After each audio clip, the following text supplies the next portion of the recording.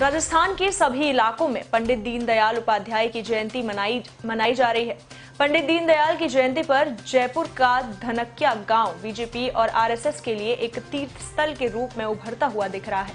इसका कारण है कि धनक्या में बना पंडित दीनदयाल उपाध्याय का राष्ट्रीय स्मारक। इस स्मारक की अहमियत इसलिए भी है क्योंकि ये स्मारक पंडित दीनदयाल के बचपन की यादों से जुड़ा हुआ है। आपको बता दें कि पिछले कुछ वर्षों से वर्षों में जयपुर के धनक्या गाँव की फिजा बदल गई है। अब राष्ट्रीय पटल पर लोग धनक्या को पहचानने लगे हैं और इसका श्रेय जाता है पंडित दीनदयाल उपाध्याय को। पंडित जी को दुनिया से अलविदा कहे तो काफ़ी समय हो गया, लेकिन उनके व्यक्तित्व और कृतित्व ने उनके जाने के बाद भी धनक्या को विशेष पहचान दिलाई है। 25 सितंबर 1916 को मथुरा में जन्मे पंडित दीनदयाल उपाध्याय का जन्म धनकिया रेलवे स्टेशन पर बने सरकारी क्वार्टर में हुआ था। पंडित जी के, पंडित जी के नाना चुन्नीलाल शुक्ला यहाँ पर स्टेशन मास्टर थे और पिता के अल्पायु में ही, अल्पायु में ही निधन के बाद पंडित दीनदयाल उपाध्याय अपने नाना के साथ